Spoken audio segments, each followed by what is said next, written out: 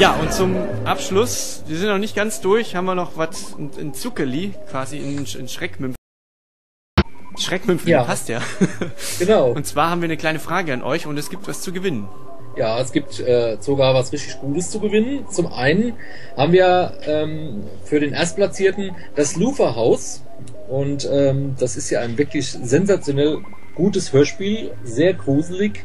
Ähm, da könnten sich einige freuen, die's, äh, die vielleicht die Anschaffung noch scheuen. Auf Platz Das zwei reimt sich ja. Stimmt. Auf Platz 2 hätten wir ähm, die Sinclair 10, die Classics 10. Und zwar ist das die erste mit Dietmar Munder, mit den Änderungen drin.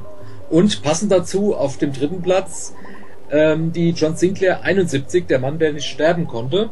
Auch die erste mit den Änderungen in dieser äh, regulären Sinclair-Reihe. Ja, wir wollen dafür von euch was wissen. Und zwar, was das gruseligste Hörspiel ist. Also für euch jeweils gesehen, ganz persönlich euer gruseligstes Hörspiel. Und dabei ganz egal, ob es jetzt auf den Inhalt bezogen oder als halt so schrecklich äh, gemacht ist. Ähm, schreibt uns das irgendwo bei Facebook oder auf unserer, in unserem Blog oder schickt uns per Twitter was, per E-Mail, ganz wurscht.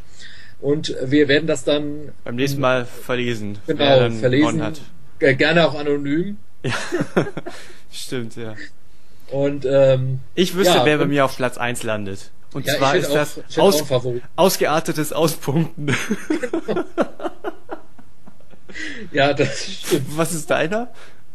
Ja, es ging, äh, wäre auch in die Richtung gegangen. Also so ganz aktuell wäre halt Playtext Play 2 momentan äh, ganz oben auf meiner Liste. Das fand ich wirklich schon, schon schlimm.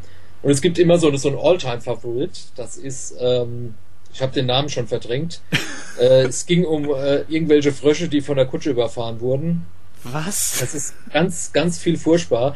Ich weiß, dass wir damals das äh, im Radiotipp bei den Hörspielfreunden hatten und ähm, der kleine Muck, der damals mitgetippt hat, ähm, das Hörspiel beim Renovieren gehört hat und sich fast vor Schreck im Farbeimer ertränkt hat.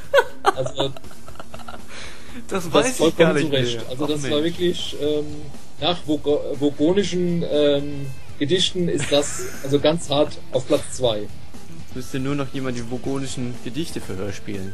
Das Mensch, das könnten wir doch mal machen. Ja. Vielleicht kommt das beim nächsten Mal in einer eigenen Abteilung.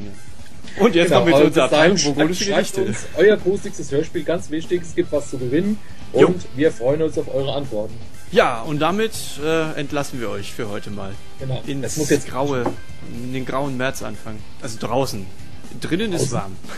Ja, hoffentlich. Ja, Hoffen wir für euch. Genau, wir hören uns dann hoffentlich Ende März wieder und bis dahin wünsche ich euch eine gute Zeit. Macht's gut. Jo, Ciao. Tschüss.